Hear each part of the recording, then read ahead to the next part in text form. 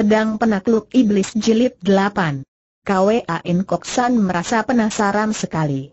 Kongji baru paling lama, empat tahun belajar silat dari ayahnya, sedangkan ia digembleng sejak kecil. Bagaimana sampai 50 jurus belum juga ia dapat mengalahkan Kongji? Tentu saja ia tidak tahu bahwa sebelum belajar kepada si Tian Tok Ong, Kongji sudah menerima latihan sejak kecil dari ayah Bundan Fa, kemudian menerima latihan Liang Gitojin dan yang terakhir dari Giok Senchu. Kok San mulai marah. Beberapa kali ia mengejapkan mata kepada Kongji akan tetapi Kongji agaknya tidak mengerti dan selalu menghadapi serangannya dengan sungguh-sungguh. Padahal Kok San hanya main-main saja dan ingin mengalahkan Kongji dengan menolongnya. Melihat bahwa sudah terang Kong Ji tidak mau mengalah, timbul kemarahan di dalam hati pemuda gundul ini. Ia mengeluarkan seruan keras dan kini ia menyerang dengan sungguh-sungguh. Kagetlah Kong Ji karena kini sambaran angin pukulan Koksan amat berbahaya ditujukan kepada anggota tubuhnya yang lemah dalam pukulan-pukulan maut. Tadinya, biarpun ia juga bersungguh-sungguh tentu saja tidak bermaksud bertempur sampai dapat membinasakan lawan, cukup kalau ada yang kalah saja. Akan tapi sekarang Kok San bertempur untuk membunuhnya. Perubahan gerakan Kok San ini tentu saja membuat ia terdesak. Kok San mendesak terus dan pada suatu saat, pemuda gundul ini melakukan pukulan dengan kedua tangan, setelah tendangan berantai yang ia lakukan dapat ditangkis oleh Kongji. Pukulan kedua tangan ini amat cepat, kuat dan ganas sehingga tidak mungkin dapat ditangkis lagi oleh Kongji. Pukulan ini mengarah dada dan kalau ia sampai terkena pukulan ini, ia tentu akan tewas atau sedikitnya akan menderita luka di dalam tubuh yang amat berbahaya. Dalam keadaan yang amat terdesak itu, Kong Ji tidak mempunyai daya lain kecuali mempergunakan Tin San Kang dan menangkis pukulan tadi. Dua pasang telapak tangan bertemu amat kerasnya dan tubuh Kok San terjengkang ke belakang. Begitu ia melompat bangun, darah segar keluar dari mulut Kuan Kok San.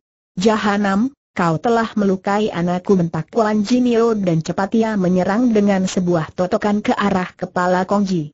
Kali ini Kong Ji tidak dapat berpura-pura lagi, untuk melingkelungit tubuhnya, kembali ia mempergunakan Tin San Kang memukul ke arah nyonya tua itu. Baiknya kepandaian Kuan Jinio sudah amat tinggi sehingga cepat sekali ia dapat menghindarkan diri, akan tetapi diam-diam ia terkejut sekali karena pukulan Kong Ji tadi. Benar-benar berbahaya sehingga ia masih dapat merasai sambaran angin yang luar biasa ketika mengelak. Dari mana kau mempelajari pukulan itu si Tian Tok Ong berseru dan sekali ia bergerak, ia telah berhasil menotok pundak Kong Ji sehingga tubuhnya menjadi lemas dan ia roboh duduk tanpa berdaya lagi. Teocu mendapatkan pelajaran dari suhu Giok Sencu, katanya perlahan. Celaka dia memperdayai kata kuat Jinio. Dengan kepandaian yang ia dapat dan sana sini, ia kelak merupakan orang yang berbahaya bagi kita. Baik bikin mampus saja bocah ini si Tian Tok Ong merasa setuju dengan maksud istrinya ia pun tadi terkejut sekali. Ternyata bahwa kepandaian Kong Ji sudah demikian tangguhnya sehingga bocah ini dapat menghadapi istrinya dengan Tin San Kang sehingga hampir saja istrinya roboh pula. Ia tidak berkata apa-apa hanya menghampin putranya dan menotok dada putranya di bagian Tai Kong Hiat untuk menyembuhkan luka bekas akibat benturan tangan Kong Ji yang mengandung tenaga Tin San Kang. Tahan dulu, Ibu Kok San tiba-tiba berseru ketika melihat ibunya mengangkat tangan hendak membinasakan Kong Ji. Aku yang ia hina, aku pula yang berhak membunuhnya. Biar ia dijadikan makanan untuk Ang, Choa, ular merah, Sambil berkata demikian, Kok San merogoh saku baju mengeluarkan sepasang ular merah yang membelit-belit di antara jari tangannya. Kong Ji maklum bahwa nyawanya takkan tertolong lagi, akan tetapi ia memandang dengan berani kepada Kok San. Hampir saja ia membuka mulut dan membuka rahasia tentang kitab yang berada di dalam gua di dasar jurang, akan tetapi ia menahan mulutnya. Apa gunanya? Ia telah yakin bahwa biarpun ia memberi kitab itu kepada si Tian Tok Ong, harapannya sedikit sekali baginya untuk dapat membebaskan diri dari mereka itu. Akhirnya ia pun akan dibunuh juga dan kalau sampai terjadi demikian dia yang rugi besar. Kuan Kok San, kau sudah kalah olehku, sekarang hendak membunuh secara curang. Baik, lepaskan Ang Choa itu, aku tidak takut mati. Aku mati sebagai seorang gagah, akan tetapi kau, kecuranganmu ini akan membuat busuk namamu selama kau hidup Koksan menjadi merah mukanya. Dengan gemas ia lalu melepaskan ular-ularnya ke arah Kong yang memandang datangnya dua ekor ular merah terbang itu dengan mata terbuka lebar. Nasib Kong Ji sudah tak dapat diulur lagi agaknya akan tetapi, pada saat yang amat berbahaya itu, tiba-tiba berkelebat bayangan merah dan tahu-tahu seorang anak perempuan kecil dengan sebatang ranting bambu di tangan telah berdiri di dekat Kong Ji. Dengan dua kali menggerakkan ranting bambu, ia dapat memukul sepasang ular merah itu. Dua ekor ular itu terpelanting dan tak bergeraklah karena kepala mereka telah remuk hanya ekor mereka yang bergerak-gerak lemah dan menggeliat-geliat sebelum nyawa mereka meninggalkan tubuh.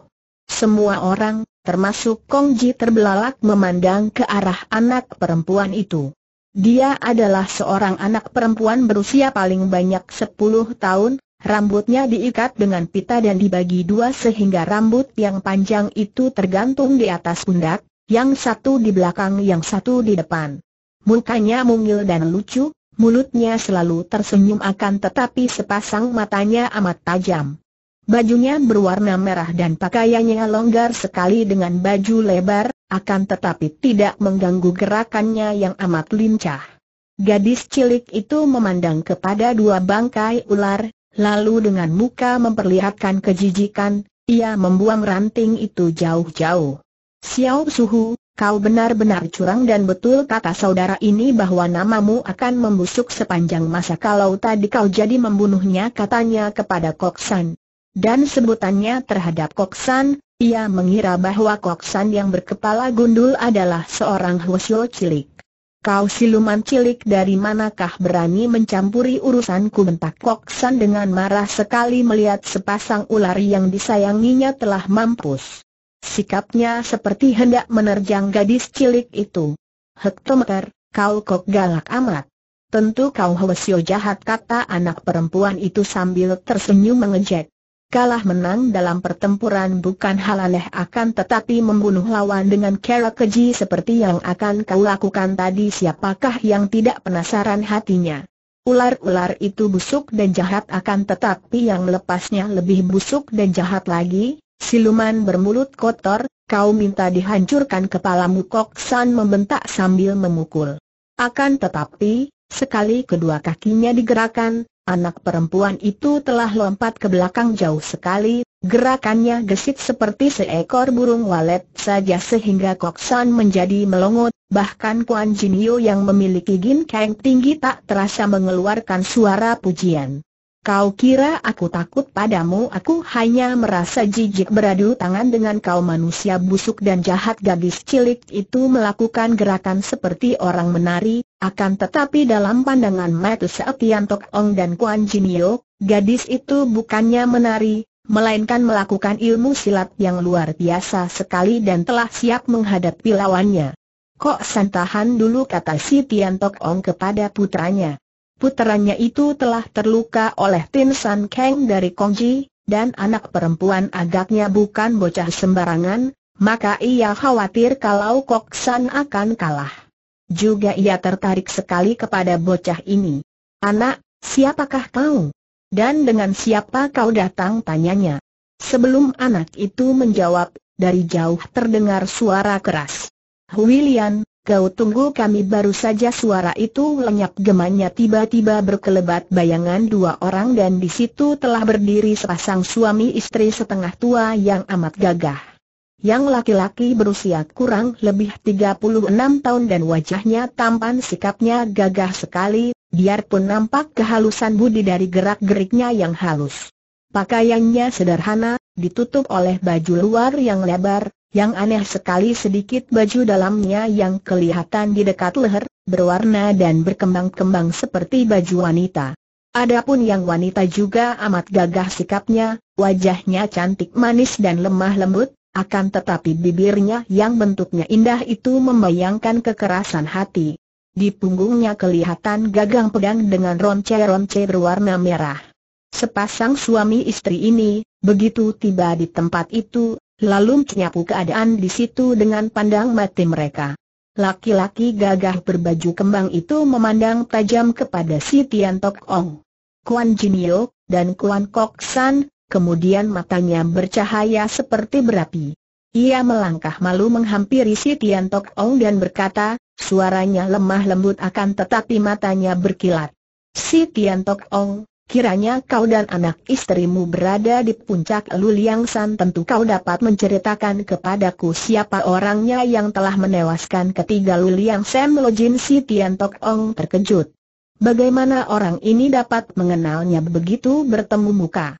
Ia selamanya belum pernah melihat suami istri ini, akan tetapi melihat sikap mereka, ia hampir dapat menduga. Untuk melenyapkan keraguannya ia balas bertanya, kau telah tahu bahwa aku adalah si Tian Tok Ong, sebaliknya kau ini siapakah? Ada hubungan apa kau dengan Luliang Samlojin laki-laki itu menjawab, aku bernama Go Chiang Le, dia ini istriku dan Hui Lian itu adalah putri kami, Lulian Sam Lojin adalah suheng-suhengku, ah, jadi kau yang disebut Hwa Ang Long, pendekar baju kembang, dan istrimu ini Sian Li Eng Chu, bayangan bidadari? Tanya si Tian Tok Ong dengan terheran-heran dan sikap mengejek. Ia sudah mendengar nama besar Hwa Ing Hiong atau Go Chiang Le sebagai seorang pendekar besar dan jarang tandingannya pada masa itu, akan tetapi ia tidak mengira sama sekali bahwa pendekar besar ini ternyata hanyalah seorang yang masih muda dan kelihatannya tidak mengesankan sama sekali. Si Tian Tok Ong, kau tentu sudah mendengar bahwa aku adalah murid Pak Kek Sian Su dan Sute dari Luliang Sam Lojin, oleh karena itu aku berhak untuk bertanya mengapa kau berada di sini dan apakah kau yang telah menewaskan ketiga orang suhengku kata pula Chiang Li. Sebelum si Tian Tok Ong menjawab, Kuan Jinima mendahuluinya. Nenek ini melangkah maju, menudingkan telunjuk tangan kirinya ke muka Chiang Le sambil memaki, macam inikah yang disebut Hwa Ing Hiong? Kiraku orangnya hebat seperti namanya, tidak taunya hanya seorang yang sombong dan tak tahu aturan. Kalau kami tinggal di sini kau mau apa? Andai kata benar Luli yang Sam Lojin kami yang menewaskannya, Kau mau apa baru saja nyonya tua ini habis mengucapkan kata-kata itu, terdengar bentakan nyaring dan Liang Bilan, istri dari Go Chiang Le, melompat maju dan menampar dengan tangannya ke arah muka Kuan Jinio. Kuan Jinio merasa ada sambar angin ke arah mukanya, cepat ia menangkis sambil mengerahkan tenaga. Plak dua tangan beradu, disusul suara plak yang lain dan tubuh Kuan Jinio terhuyung ke belakang. Ternyata bahwa biarpun tamparan tangan kanan dapat ditangkis, tangan kiri Liang Bilan dapat menyusul cepat dan tanpa dapat dicegah lagi, pipi kanan Kuan Jini mau telah kena ditampar kau ini siluman wanita tua sungguh tak tahu malu Bilan memaki sambil tersenyum sindir. Dengarlah jawabanku. Kalau memaksa hendak merampas tempat tinggal orang, kami akan mengusir kalian dari puncak Luliang San. Adapun andai kata benar-benar kalian telah membunuh Luliang Sam Lojin, kami akan menghancurkan kepala kalian sebagai pembalasan dendam. Berbeda dengan suaminya yang tenang dan sabar sekali, Bilan memang berwatak keras, mudah gembira dan mudah marah. Kuan Jini marah dan juga terkejut sekali. Ia merasa heran bagaimana lawannya itu berhasil menamparnya, gerakan tangan lawannya benar-benar amat aneh dan tidak terduga. Dia tidak tahu bahwa Bilan adalah murid Hoa San Pai yang paling liai, selain itu ia pun menjadi murid dan Choa Ong Sin Ke dan telah mempelajari pula ilmu silat dan ilmu pedang dari Tian Te Siang Mo. Kepandaiannya amat tinggi dan gerakannya tadi adalah jurus dari ilmu silat Ol Wan Chiang yang lihai. Bangsat, kau hendak bertempur. Baik, bersiaplah untuk mampus Kuan Jinio sudah mengeluarkan tongkatnya yang kecil dan berbahaya, akan tetapi pada saat itu, si Tian Tok Ong memegang lengannya, mencegahnya memulai perketahian. Saat Tian Tok Ong adalah seorang yang cerdik. Ia dapat melihat kelihayan Dilan dan melihat sikap yang tenang dari Chiang Le, ia pun agak kedar juga. Dengan tersenyum ia menjura kepada Chiang Le dan berkata, Hwa Ing Hiong, memang pihakku yang tak tahu diri. Tempat ini adalah bekas tempat tinggal Pak Kek Sian Suka sebagai murid Lu Liang San tentu saja berhak menyuruh kami pergi. Kami pun hendak pergi karena di tempat ini kami tidak ada urusan apa-apa. Adapun tentang tuasnya Luliang Sam Lojin, si Tian Tok Ong tidak tahu menahu bukan aku yang membunuh mereka, Chiang Lem melangkah maju. Si Tian Tok Ong. Kita berdua adalah laki-laki sejati dan bukan anak-anak yang suka membohong. Benar-benarkah kau tidak membunuh ketiga suhengku kau tidak percaya kepadaku? Aku bersumpah bahwa bukan aku yang membunuh mereka. Selama tinggal si Tian Tok Ong mengajak istri dan putranya untuk pergi meninggalkan tempat itu. Chiang Le tak dapat berbuat sesuatu dan hanya memandang dengan kecewa. Telah bertahun-tahun pendekar ini tak pernah naik ke Luliang San. Sekarang selagi ada kesempatan, sambil membawa istrinya ia naik ke Luliang San untuk mengunjungi ketiga orang. Suhengnya, akan tetapi alangkah marah, menyesal dan dukanya ketika ia menemukan ketiga suhengnya telah menjadi rangka yang berserakan di lereng gunung. Adapun puterinya Huilian yang merasa amat gembira melihat pemandangan alam yang amat indah di puncak, mendahului ayah bundanya dan berlari-lari naik bagaikan seekor burung cepatnya. Kebetulan sekali Huilian melihat Kongji yang hendak dibunuh oleh Kok San, maka ia lalu menolongnya. Ketika Mahat Si Tian Tok Ong dan anak istrinya pergi, Chiang Le hanya berdiri memandang. Si Tian Tok Ong telah bersumpah bahwa ia tidak membunuh Lu Liang Sam Lo Jin, maka Chiang Le merasa bahwa tak pantas sekali kalau mendesak dan mencari permusuhan dengan tokoh yang amat terkenal itu. Akan tetapi, tiba-tiba Kong Ji berseru keras, Golo Chiam Pual, jangan percaya kepada Raja Racun itu. Dia telah membawa pergi pedang Pak Kek Sin Kiam dari puncak ini mendengar seruan ini, Chiang Le tidak membuang waktu lagi, cepat melompat dan lari mengejar si Tian Tok Ong. Liang Bilan dan puterinya juga berlari cepat mengejar. Si Tian Tak Ong, tunggu dulu seru Chiang Le ketika ia sudah hampir dapat menyusul rombongan si Tian Tok Ong. Si Tian Tok Ong terkejut dan berhenti. Ia tidak takut karena ia yakin bahwa pendekar besar itu tentu percaya kepada sumpahnya. Lagi pula, biarpun yang membunuh Luliang Sam Lojin adalah putranya, namun ia tidak membohong kalau ia bersumpah bahwa ia tidak membunuh mereka. Hwa Ing Hyong, ada urusan apa maka kau menyusul tanyanya. Si Tian Tok Ong, kau telah mengambil dan membawa pergi pusaka Luliang Pai, harap kau suka mengembalikannya kepadaku, kata Chiang Lei dengan suara tenang. Si Tian Tok Ong cukup cerdik. Ia dapat menduga bahwa tentulah Kong Ji telah membuka rahasia dan memberitahu kepada Chiang Lei tentang Pak Kek Sin Kiam, maka ia pun tidak mau berpura-pura lagi dan bertanya, Apakah kau maksudkan Pak Kek Sin Kiam betul? Pedang itu adalah pusaka peninggalan suhu Pak Kek Sian Su, maka tidak boleh kau membawanya pergi dari sini, Hwa Ing Hyong, kau benar-benar keterlaluan.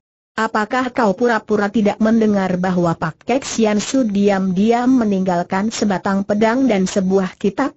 Apakah kau tidak mendengar bahwa semua orang di dunia Kang Ou berebutan untuk mendapatkan dua benda itu? Siapa yang mendapatkannya, berarti sudah berjodoh. Aku memang mendapatkan pedang Pak Kek Sing Kiam, akan tetapi bukan mencuri darimu. Itu menandakan bahwa akulah yang berjodoh memiliki Pak Kek Sin Kiam, hektometer, si Tian Tok Ong, enak saja kau bicara, seolah-olah kau tidak mengerti akan peraturan dan kesopanan Kang Ou.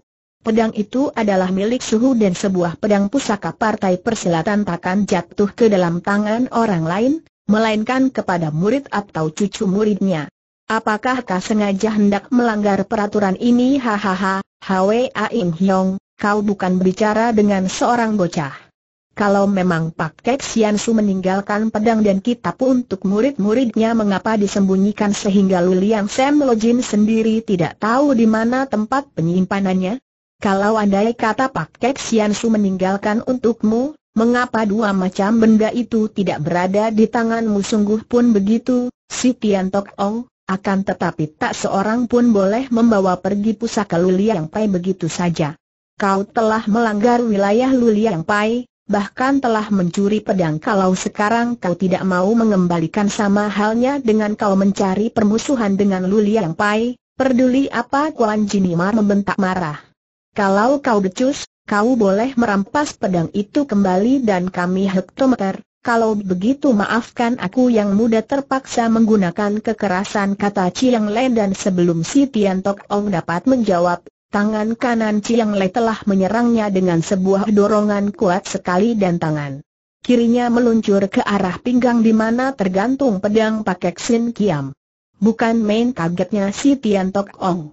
Gerakan dari Chiang Le demikian kuat dan cepat, baru anginnya saja sudah terasa olehnya. Cepat ia melompat ke belakang sambil menangkis dan begitu kedua kakinya menginjak bumi ia terus saja mencabut keluar pakai Sin Kiam.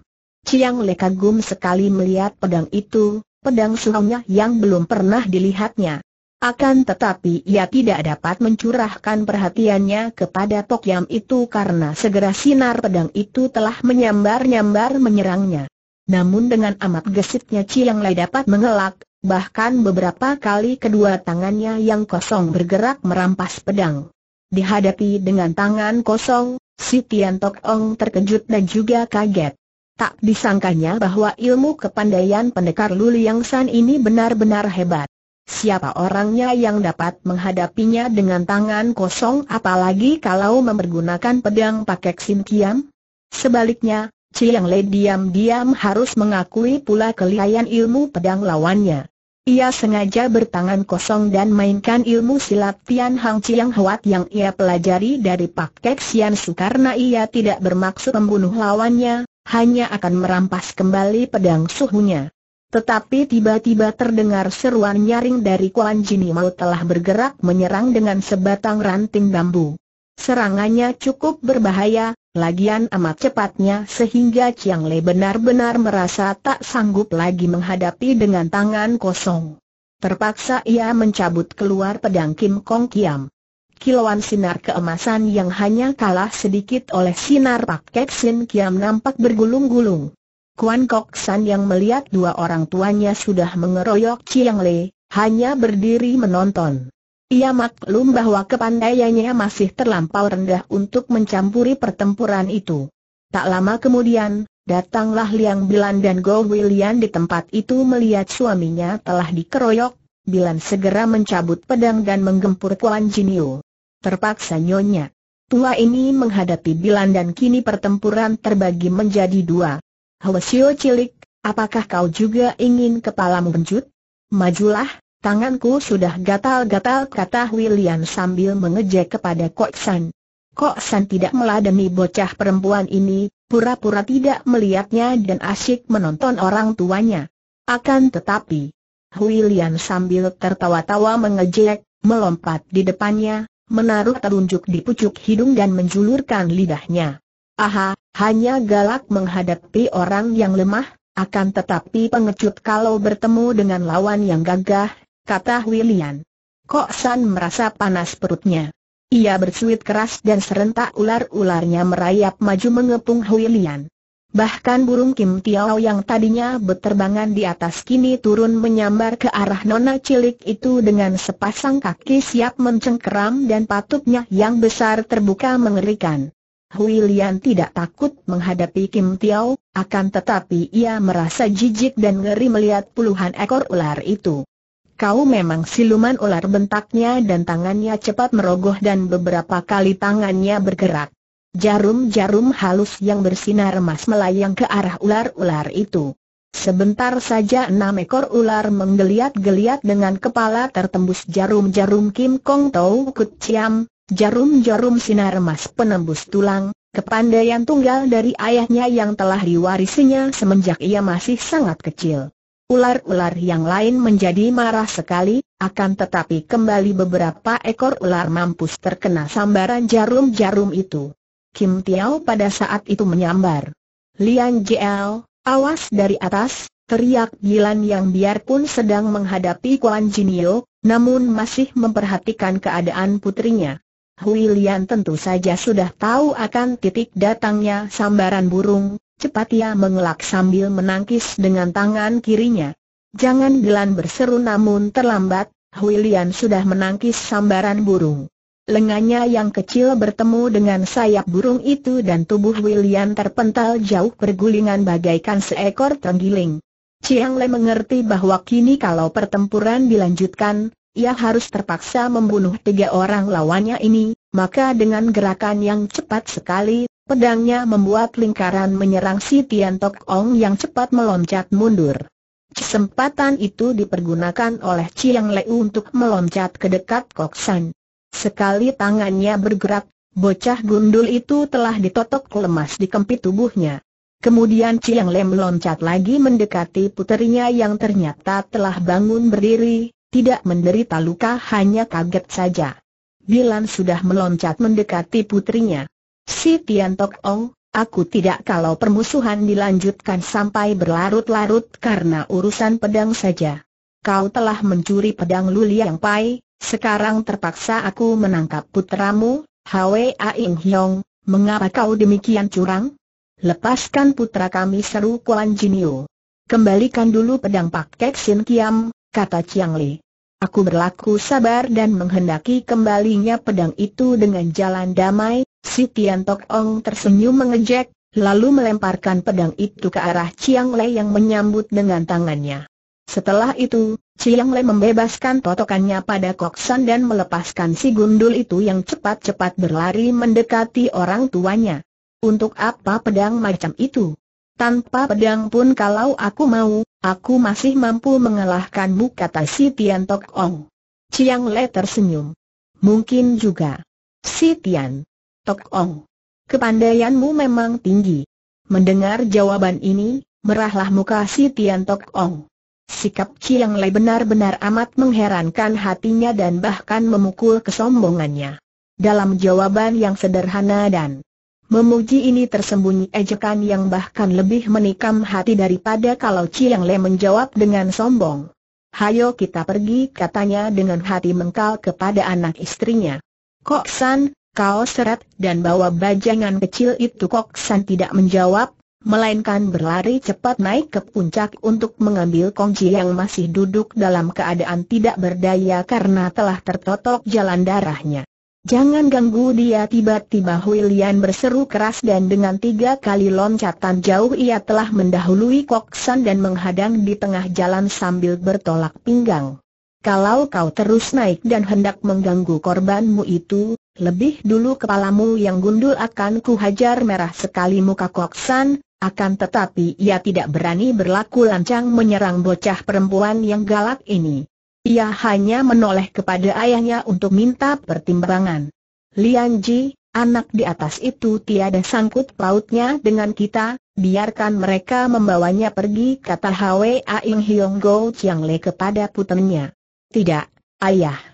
Tak dapat kita biarkan saja orang disiksa dan dibunuh oleh mereka ini, Bantah William yang memang manja dan berani membantah orang tua kalau ia menganggap dia sendiri betul. Bagus-bagus si Tian Tok Ong mengangguk-anggukan kepala sambil tersenyum mengejek. Hwa Ing Hiong berkata tidak mencari permusuhan, akan tetapi sengaja hendak menghina kami. Bocah setan di atas puncak itu adalah muridku, apakah aku sebagai gurunya tidak boleh membawanya pergi Ciang letak berdaya, Pula tadi sekali saja melihat wajah Kongji yang tampan dengan sepasang mata yang aneh, ia sudah mempunyai perasaan tidak suka yang ia sendiri tidak tahu apa sebabnya. Hektometer, kalau dia muridmu, ambillah, katanya. Kok San hendak melangkah lagi, akan tetapi William tetap menghadangnya. Siapa saja yang maju, baik kasetan gundul atau ayah maupun ibumu, harus merobohkan aku lebih dulu bentak William marah sekali. Hwa Ing Hyong, bagus sekali sikap putrimu, Kuan Jinima menyindir dan nyonya tua ini sebetulnya sudah marah sekali, hanya ia tidak berani mendahului suaminya bertindak. William Chiang Le membentak telinganya merah. Ayah, aku tidak lega melihat mereka membunuh orang yang tidak berdaya, Huilian berkata kepada ayahnya dengan suara memohon. Bodoh, bocah di atas itu adalah muridnya. Kita tidak berhak mencampuri urusan mereka. Mau dibunuh atau tidak terserah kepada gurunya, apa hubungannya dengan kita akan tetapi, ayah, William, jangan kau membantah ayahmu Ciang Le mulai marah. Akan tetapi, anak tidak suka kalau kelak ada yang mengira bahwa kita adalah orang-orang yang bong impwegi, tidak mengenai budi, Ciang Le membuka lebar matanya bahkan dilancap bertanya, Lian Ji, anak Lian, mengapa kau berkata demikian ayah dan ibu, bukankah tadi orang di puncak itu yang memberitahu tentang pedang Pak Kek Sin Kiam? Bukankah dia telah melepas budi kepada kita sehingga pedang pusaka Luli yang Pai telah dapat dirampas kembali? Masa sekarang melihat dia terancam bahaya maut, kita diam saja. Anak khawatir sekali kelak dunia Kangou akan mencela nama kita, Ciang Le tertegun. Benar juga kata-kata putrinya. Apalagi ketika tiba-tiba si Tian Tok Ong mengeluarkan makian keras, anak setan tak kenal budi. Jadi dia pula yang membuka rahasia tentang pedang? Anak macam itu harus kucekik lehernya ia melompat hendak menuju ke puncak, akan tetapi tiba-tiba. Bayangan Ciang Lei berkelebat dan tahu-tahu pendekar ini telah berdiri di depannya. Sabar si Tian Tok Ong. Daerah ini termasuk daerah Luliang Pai, dan aku tidak memperbolehkan kau naik ke puncak. Sudah terlalu lama kau mengacau dan mengotorkan tempat kami, jadi kau tetap hendak melindungi muridku. Hendak mencampuri urusan antara guru dan murid. Sebelum Chiang Le menyahut, kembali terdengar kata-kata William yang nyaring. Biarpun dia itu muridnya, kurasa dia jauh lebih baik daripada gurunya. Aku pernah mendengar bahwa siapa yang dimaki-maki dan dicela orang jahat, itu adalah seorang baik-baik, sebaliknya siapa yang dipuji dan disayang oleh orang jahat, dia itu pun seorang yang busuk William, diam kau bentak Chiang Le, kemudian ia berkata kepada si Tian Tok Ong, si Tian Tok Ong, jangan katakan bahwa kami yang mencari gara-gara. Kau sendiri yang sudah melakukan pelanggaran di tempat kami. Sekarang aku tidak memperbolehkan kau naik ke puncak. Kalau kau mau panggil anak itu turun ke bawah aku takkan ambil peduli lagi, Si Tian Tok Ong maklum bahwa alasan ini hanya dicari-cari saja, akan tetapi kuat juga, dan ia tidak berdaya untuk melanggarnya. Maka ia lalu berseru, ditujukan ke arah puncak, Kongji, hayo kau turun dan ikut aku pergi dari sini sunyi sesaat lalu terdengar jawaban Kongji, suhu, Teocu tidak dapat menggerakkan tubuh bergulinglah ke kanan, benturkan jalan darah di pundak kanan ke atas batu runcing setelah tangan kananmu dapat bergerak pijatlah jalan darah di punggung sunyi pula agak lama, dan semua orang tahu bahwa Kongji tentu sedang melakukan perintah gurunya membebaskan diri daripada totokan itu. Tak lama kemudian, terdengar Kongji berkata dengan nada suara girang. Teocu sudah bebas lekas kau turun. Ke sini. Dan berangkat. Turun gunung bersamaku. Kong Ji tertawa dan tetap tidak mau memperlihatkan dari suhu, apakah suhu kira Teocu tidak tahu. Begitu Teocu berada di depan suhu, tentu nyawa Teocu akan dicabut turunlah dan jangan banyak cakap. Aku, gurumu yang memerintah supaya kau turun tidak mungkin, suhu. Bagaimanapun juga, Teocu masih suka hidup memang Kong Ji amat cerdik. Ia tadinya merasa heran mendengar suara suhunya menyuruh dia membuka totokan dan menyuruhnya dia turun gunung. Kemudian ia dapat menduga bahwa tentu Hwa Ing Hiong tidak mengizinkan mereka naik ke puncak, maka ia juga mempergunakan kesempatan ini untuk menolong nyawanya. Kongji, kau hendak murtad terhadap gurumu sendiri? Tidak ingatkah kau betapa kami selalu sayang kepadamu dan telah menurunkan banyak ilmu silat kepadamu? Kembali Kongji tertawa lalu berkata, Si Tian Tok Ong, sekarang aku bukan muridmu dan kau kira aku tidak tahukah bahwa selama ini kau tidak menganggap aku sebagai murid yang betul? Kau mau mengajarku hanya karena telah berjanji. Orang gagah bilang bahwa Rit Gan Kijut, Sumalem TWI, Sekali perkataan keluar, empat ekor kuda tak dapat menarik kembali, akan tetapi, apa yang kau lakukan? baru empat tahun lebih dengan keji kau dan anak istrimu tadi hendak membunuhku. Siapa mau turut mengantarkan nyawa padamu mendengar jawaban Kongji yang berkukuh tidak mau turun dari puncak Luliang San dan tak mau menurut kehendaknya untuk pergi bersama dari situ, si Tian Tok Ong menjadi mendongkol sekali. Ia merasa telah ditipu oleh Kongji dan kini ia baru merasa menyesal mengapa dulu-dulu ia tidak bunuh mampus saja bocah yang cerdik itu. Sementara itu mendengar kata-kata Kongji, timbul rasa suka di hati Chiang Lei terhadap bocah yang ditanggapnya berani dan tabah itu. Ia melangkah maju menghadapi si Tian Tok Ong dan berkata, Si Tian Tok Ong, kau sudah mendengar sendiri bahwa anak itu tidak mau turun dari puncak, dan kau tidak bisa memaksanya. Oleh karena itu, ku harap kau dan anak istrimu segera turun dari sini, jangan sampai terjadi salah paham di antara kita, Si Tian Tok Ong membanting kakinya dan sebuah batu yang berada di bawah kakinya menjadi hancur. Ia menyeringai pahit dan sambil memandang tajam ia menjawab. Bukan karena kami takut kepadamu, Hwa Ing Hyong, hanya karena kami tidak mau disebut pendatang yang mengacaukan tempat tinggal orang lain maka kali ini aku mengalah. Biarlah lain kali kita bertemu kembali dalam keadaan yang lebih baik dan di sana kita akan menentukan siapa yang lebih unggul antara kita, hektometer. Soal nanti tak usah dibicarakan sekarang, Bilan menyahut, kami akan selalu melayani tantanganmu, di mana pun juga kami berada, si Tian Tok Ong. Terdengar Tuan Jini mau tertawa bergelak, suara tertawa yang mengandung kemaralian besar, kemudian menarik tangan putranya dan berlari turun gunung, suaminya lalu menggapai ke arah ular-ular dan Kim Tiao, lalu dia pun menyusul istri dan anaknya. Ular-ular merayap cepat turun gunung dan di atas, Kim Tiao terbang meluncur dengan gagah. Chiang Le menarik napas panjang. Mereka itu benar-benar merupakan lawan-lawan yang tangguh. Baiknya tidak terjadi pertempuran yang lebih hebat. Aku khawatir sekali, karena kalau sampai terjadi demikian tidak ringan menghadapi racun-racun, baru saja kata-kata ini habis diucapkan, tiba-tiba terdengar suara gaduh di puncak gunung. Chiang Le, Bilan dan Hui Lian cepat berlari naik dan mereka melihat Kong Ji seperti orang gila mencabut beberapa batang pohon muda. Eh, apa yang kau lakukan Hui Lian bertanya heran. Kong Ji menoleh dan melihat Chiang Le dan anak istrinya, Kong Ji serta-merta menjatuhkan diri berlutut sambil menangis. Lo Chiam Pua, kalau tidak Io Chiam Pua bertiga yang datang menolong, pasti Te Chu sudah mampus sekarang. Terima kasih banyak atas budi pertolongan Lo Chiam Pua. Sungguh tidak salah kalau dulu ayah bunda Teocu, juga ayah angkat Teocu serta guru Teocu sendiri menyatakan bahwa Golo Ciampu adalah seorang pendekar yang paling mulia dan gagah di waktu ini. Mendengar kata-kata ini, Ciang Lei mengerutkan kening.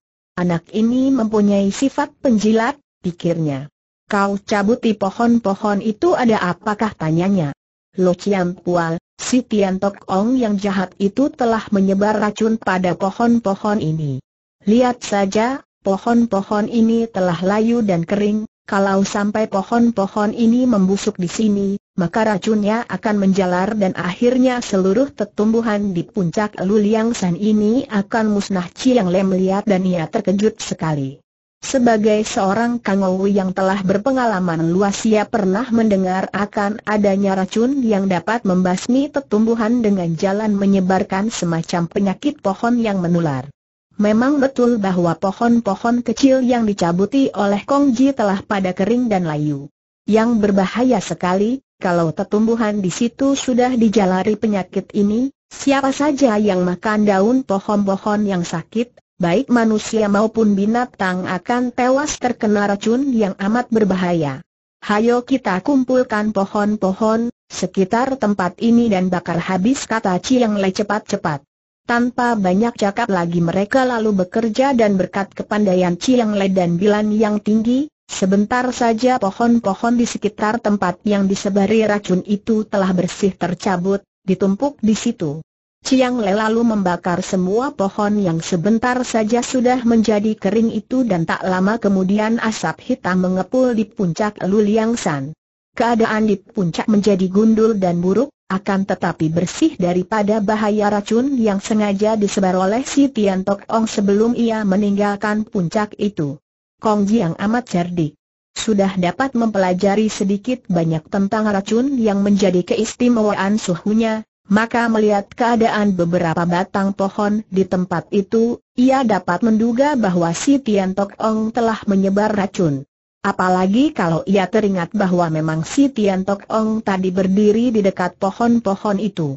Maka untuk mencari muka baik, ia segera turun tangan mencabuti pohon-pohon itu sebelum Chiang Le naik ke Luliang San.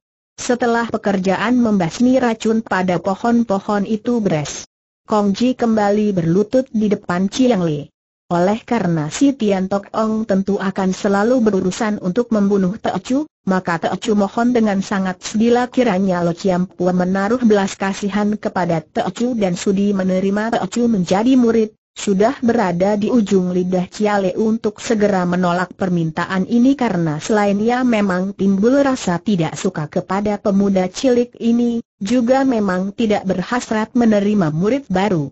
Akan tetapi ia merasa kasihan juga melihat keadaan bocah ini, apalagi kalau ia teringat betapa anak ini tadi menyatakan bahwa ayah bunda dan gurunya pernah mengenalnya. Kau siapakah dan putra siapa? Mengapa bisa menjadi murid si Tian Tok Ong tanyanya. Sambil kadang-kadang mengusap kedua matanya dengan ujung lengan baju Kongji menjawab, Teocu bernama Liok Kongji. Mendiang ibu Teocu pernah mengenai Lo Ciampu dan ibu Teocu bernama Liok Hui, ketua dan Kuan Impai, Kemudian Kong Ji menuturkan betapa ibu dan ayahnya itu terbunuh oleh orang-orang Im Yang Bupai dan betapa ia dibawa lari oleh pamannya, yakni Liok San dan dibawa mengungsi ke Hoasan di mana ia belajar ilmu silat kepada Li Butek dan Liang Gito Jin. Baru bercerita sampai di sini, Chiang Lei sudah memegang pundaknya dan bertanya dengan suara bergetar, apa yang terjadi di Hoasan dan ke mana perginya Liang Gito Jin dan Libu Tek Tuako juga bilan ingin sekali mendengar tentang bekas gurunya dan suhengnya itu. Sebelum naik ke Luliang San, memang mereka telah mengunjungi Hoasan, akan tetapi mereka tidak menemukan seorang pun di puncak Hoasan dan keadaan di situ yang sudah rusak tak terpelihara membuat mereka merasa bingung dan juga sedih sekali. Mendengar pertanyaan ini, Kong Ji mengucurkan air matanya dengan deras. Ah, Lo Chiam Pual, memang orang-orang jahat merajalela di dunia ini dan karenanya Teocu bersumpah untuk belajar ilmu silat setinggi-tingginya agar kelak dapat membasmi musuh-musuh besar itu bilang tidak sabar lagi. Hayo ceritakan apa yang terjadi di puncak Hoasan Suhu Liang Gito Jin yang sudah menerima Teocu sebagai murid telah telah tewas oleh dua orang anggota Im Yang Bupai, juga Tewe Asuheng Li Butek, terluka hebat, barangkali sudah tewas pula, Bilan tak dapat menahan air matanya, sedangkan Chiang Le menjadi pucat. Keparat betul Im Yang Bupai. Awas, akan kubasmi kalian teriak Huilan. Teruskan ceritamu, Kongji. Apa yang terjadi selanjutnya Kongji lalu bercerita betapa ia dipaksa oleh orang-orang Im Yang Bupai untuk menjadi pelayan. Kemudian ia bercerita pula tentang usaha Giok Seng Chu ketua Im Yang Bupai untuk mencari pedang dan kitab peninggalan Pak Kek Sian Su di puncak Lu Liang San. Jadi Giok Seng Chu yang menjadi ketua Im Yang Bupai? Pantas saja kalau begitu kata Bilan sambil mengerling ke arah suaminya. Diam-diam Chiang Lei merasa tidak enak sekali karena biarpun telah mengambil jalan masing-masing yang bertentangan. Giok Seng Chu adalah murid Pak Hang Su. Teruskan katanya singkat kepada Kong Ji. Kong Ji melanjutkan ceritanya. Ia menuturkan betapa Giok Seng Chu berhasil merampas pedang, kemudian menyembunyikan diri. Betapa si Tian Tok Ong dan anak istrinya yang marah kepada Giok Seng Chu lalu membasmi orang-orang LM yang bupai, akan tetapi memaksanya ikut untuk menunjukkan tempat sembunyi Giok Seng Chu. Teocu terpaksa membawa mereka ke tempat sembunyi Giok Seng Chu, oleh karena biarpun ketua LM yang bupai itu telah berlaku baik dan tidak membunuh Teocu, namun anak buahnya yang membanasakan ayah bunda Teocu, maka ia pun merupakan musuh besar Teocu pula. Selain ini, Teocu juga dipaksa oleh si Tian Tokong bahkan diberi janji bahwa Teocu akan diberi pelajaran ilmu silat selama lima tahun, Kemudian ia menuturkan betapa Giok Seng Chu terpaksa menyerahkan pedang Pak Kek Sin Kiam kepada si Tian Tok Ong dan betapa si Tian Tok Ong dan anak istrinya mencari-cari kitab peninggalan Pak Kek Sian Su dengan sia-sia belaka sehingga akhirnya marah kepadanya dan hendak membunuhnya, akan tetapi baiknya keburu datang Hui Lian yang menolongnya. Kalau begitu, kau juga tahu pula apa yang terjadi dengan Lu Liang Sam Jin.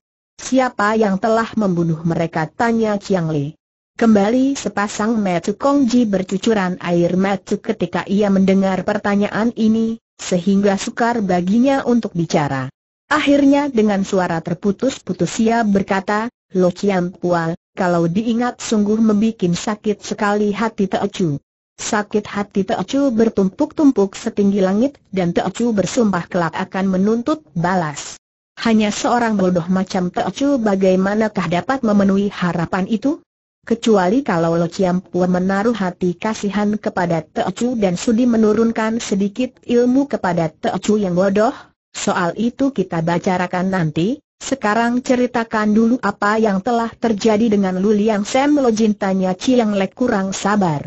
Dengan pandai sekali Kong Ji mengarang cerita, agar ia dapat terlibat ke dalam peristiwa pembunuhan itu dan agar ia menarik perhatian Chiang Li. Memang dia sudah mendengar dari Giok Seng Chu sendiri bagaimana Luliang Sam Lojin terbinasa oleh Kuan Kok. San atas bantuannya dan bantuan Bamau Hoatsu ketika mereka semua memperebutkan pedang Pak Kek Sin Kiam. Ketika itu, Teocu diajak oleh Giok Seng Chu naik ke Luliang San, Kong Ji mulai menutur dengan gaya sedemikian rupa sehingga ia nampak bersungguh-sungguh dan berduka sekali. Akhirnya dengan bantuan Kim Tiao, rombongan si Tian Tok Ong berhasil mendapatkan pedang Pak Kek Sin Kiam dalam perebutan pedang dan usaha mencari kitab itu. Melihat ini, Giok Seng Chu merampas pedang itu dan tangan putra si Tian Tok Ong sehingga akhirnya menimbulkan sakit hati dan pihak si Tian Tok Ong.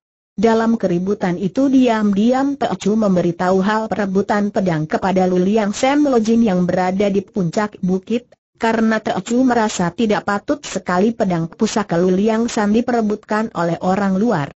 Juga Teocu yang menganggap Giok Sencu sebagai musuh besar, tidak rela melihat dia mendapatkan pedang itu. Akan tetapi, Sayang sekali Giok Sencu mengetahui perbuatan Teocu itu dan Teocu pasti akan dibunuh mati kalau saja tidak Luliang Samlojin yang menolong Teocu. Kemudian terjadi pertempuran antara Luliang Samlojin melawan orang-orang jahat yang hendak merampas pedang itu. Giok Sencu, Bamau Hoatsu, Kuan Koksan dibantu oleh ular-ular klan burungnya mengeroyok sehingga akhirnya Luliang Samlojin tewas. Pedang dibawa pergi oleh Giok Seng Chu, dan Teocu juga dipaksa olehnya dibawa pulang. Hanya nasib baik saja yang mencegah Teocu terbunuh mati oleh Giok Seng Chu. Selanjutnya, seperti sudah Teocu ceritakan tadi, pedang itu terampas oleh si Taan Tok Ong, dan Teocu juga dibawa ke tempat ini, setelah menuturkan semua ini, kembali Kongji menangis.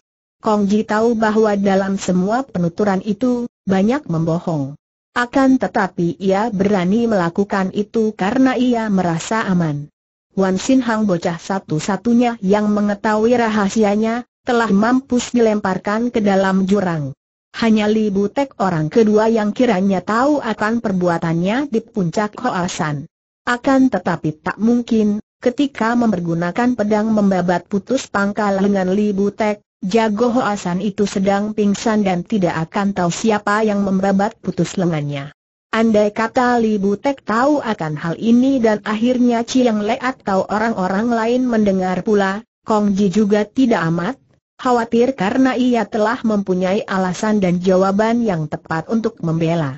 Memang anak ini luar biasa sekali cerdik dan licinnya, akan tetapi biarpun Chiang Lei sendiri yang biasanya bermata tajam dan berperasaan halus, dapat ditipu oleh Kong Ji yang wajahnya tampan dan halus sehingga kalau tadinya dalam hati Chiang Lei timbul sedikit rasa curiga dan tidak suka, perasaan itu lenyap oleh cerita dan penuturan Kong Ji yang menarik hati.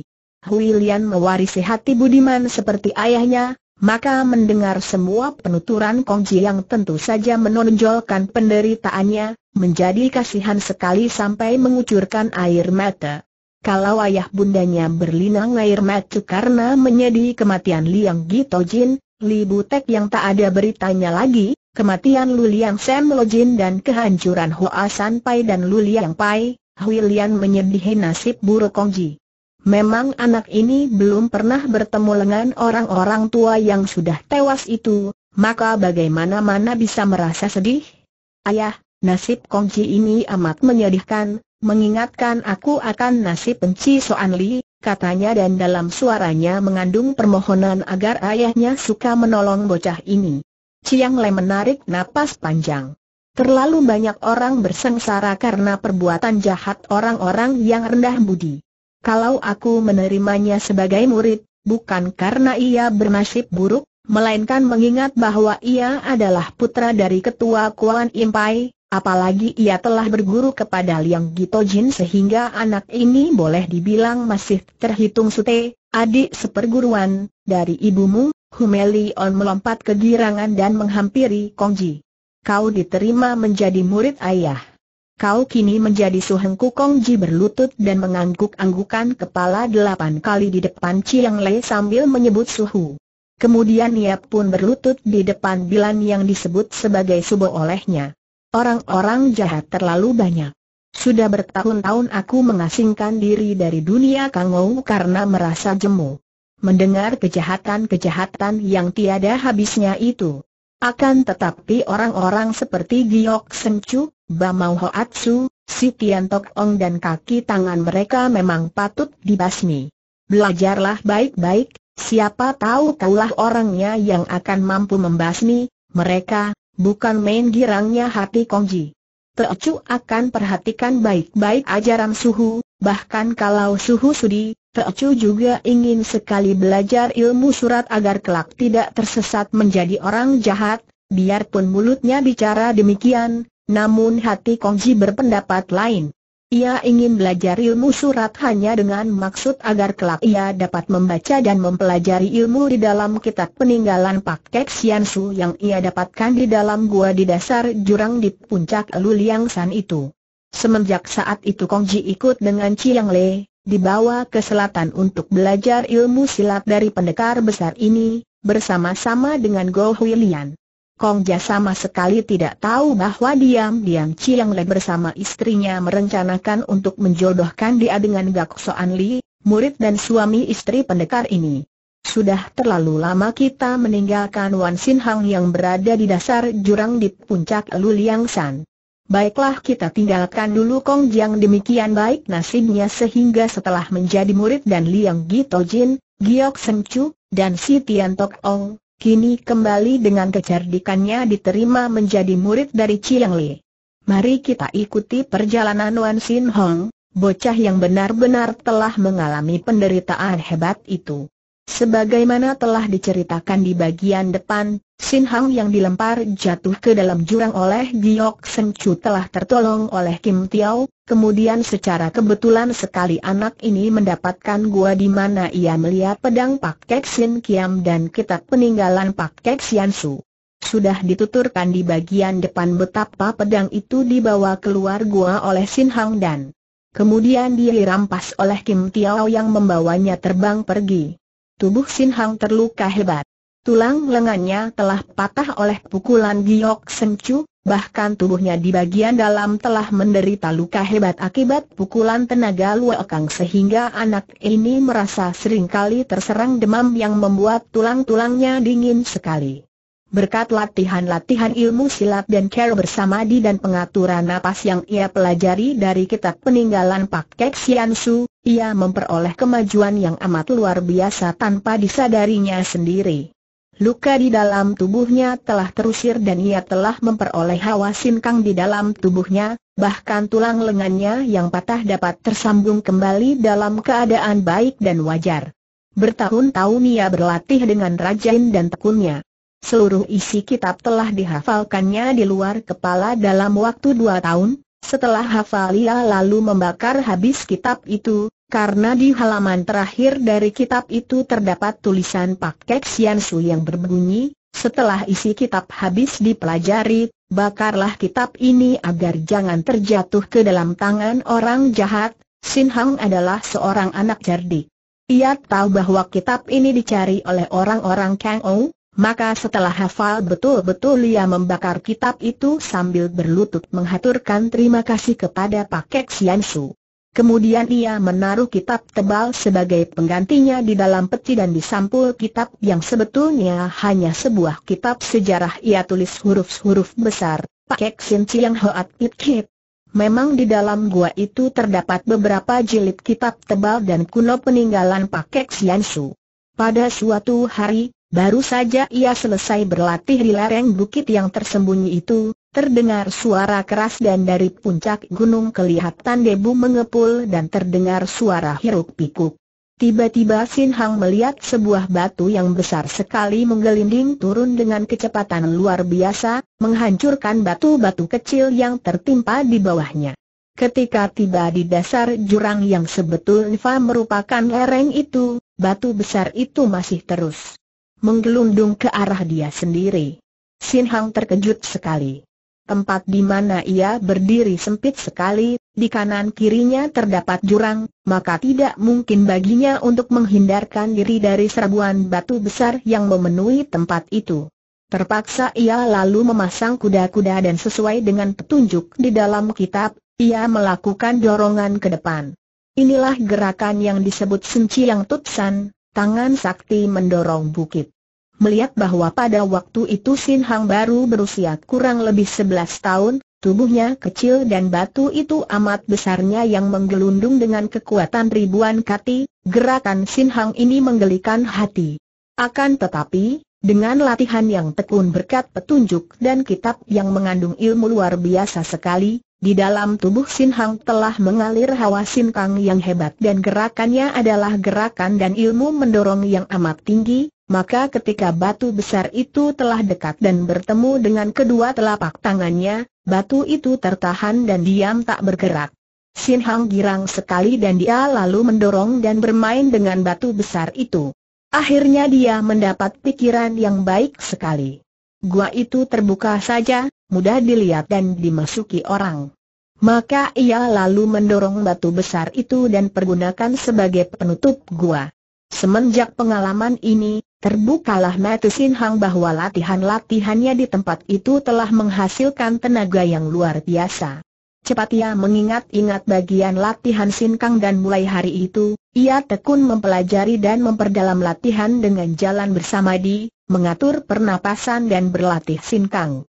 Ia rajin sekali dan tidak jarang ia kelihatan duduk menghadapi batu karang, bersama di dan menahan napas sampai akhirnya napas yang keluar dari lubang hidungnya mendatangkan getaran aneh. Sampai sehari penuh ia duduk bersila menghadapi batu karang. Tidak jarang timbul kenakalannya sebagai kanak-kanak ketika ia merasa bahwa tenaga sinkang sudah berkumpul di dalam tubuh berputar-putar cepat merupakan bola api panas yang dapat perintah dengan daya cipta ia menyalurkan hawa ini ke jari-jari tangannya dan menggunakan jari-jari tangan menggurat-gurat batu karang. Hebat sekali akibatnya. Setelah tenaga sinkang itu terkumpul di jari tangannya, baginya batu karang itu merupakan tanah lempung yang lunak sekali. Pakaiannya sudah sobek sana-sini. Kadang-kadang ia memotong bagian bawah untuk menambal bagian yang sobek sehingga pakaiannya itu tidak karuan macamnya. Namun semua kesederhanaan pakaian ini tidak mengurangi ketampanan wajahnya yang berkulit putih dengan sepasang metu yang bersinar-sinar bagaikan bintang. Tiga tahun lewat dengan cepatnya dan selama itu, Sin Hang hidup di tempat rahasia ini seorang diri, tak pernah bertemu dengan seorang pun manusia. Akan tetapi anak ini biarpun hidup dalam keadaan kesepian dan sengsara, namun tidak kecil hati. Semangat dan cita-citanya besar sekali. Kalau ia teringat akan nasibnya, teringat akan kematian orang tuanya, Kemudian tentang Hoa sampai yang rusak oleh orang-orang LM yang bupai, teringat betapa ayah angkatnya yang tercinta, yang menjadi pengganti orang tuanya itu telah dihina dan disiksa oleh orang Im yang bupai, kematian Liang Tojin, kemudian teringat pula akan kekejian Kongji, semua ini membangkitkan semangatnya. Bangkitnya rasa penasaran dan menguatkan cita-citanya untuk membalas semua kejahatan yang dilakukan orang kepadanya dan kepada orang-orang yang dikasihinya. Setelah tinggal empat tahun lebih di dalam gua itu, pada suatu hari selagi Sin Hang bersama di di sebelah dalam dari gua yang ditutupnya dengan batu besar, ia mendengar suara di luar gua. Cepat ia masuk ke dalam terowongan dan bersembunyi, menanti dengan hati berdebar. Apakah yang akan terjadi, manusia manakah yang dapat datang di tempat itu? Tak lama kemudian, ia melihat batu penutup gua bergeser sedikit, seperti didorong orang dari luar. Kemudian ia melihat tubuh seorang pemuda tanggung memasuki gua. Sebagaimana pembaca dapat menduga, yang masuk itu adalah Kongji yang turun ke dalam jurang naik Kim Tiao. Keadaan di situ suram, maka Sin Hang tidak dapat mengenal siapa orang yang masuk ke dalam gua ia mengintai saja dan dengan hati geli ia melihat orang itu membuka peti dan melihat kitab sejarah yang ia letakkan di dalam peti untuk menipu orang. Ia melihat anak tanggung itu mengembalikan buku, berjalan keluar dan menutupkan kembali batu penutup gua. Diam-diam Sin Hang memuji, karena tidak sembarang orang, apalagi masih pemuda tanggung, dapat mendorong batu itu. Setelah terjadi peristiwa ini, legalah hatinya. Biarkan semua orang Kengou datang ke sini dan mendapatkan kitab itu.